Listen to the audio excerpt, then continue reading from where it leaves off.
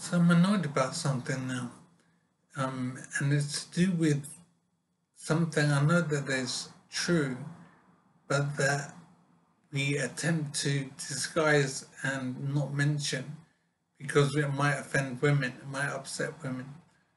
I'm thinking of how our technological development as a society, as a human race, has been down to the efforts of men, overwhelmingly.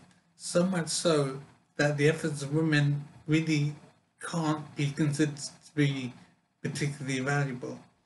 And so I'm thinking I shouldn't know the name of any female scientists, for example, because the number of women who have achieved greatly in science is so small that simply doesn't make sense how I would know the name of any female scientist.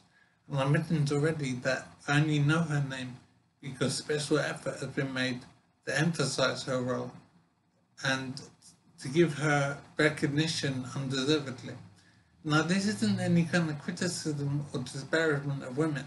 It's simply a fact of life that men have contributed to our scientific development and driven the human race forward far more than women. So much so that I shouldn't know the name of any female scientists. Men have overwhelmingly carried us forward as a whole human race. It's simply the way it is, and I do recognize that, and I don't like how I'm being sold a false reality about the role of women in our scientific development.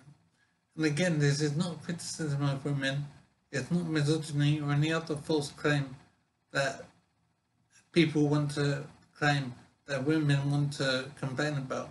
It's simply the way it is. I'm just being honest and direct about how things work and men who have carried us forward in science and technology. And that is just the way it is.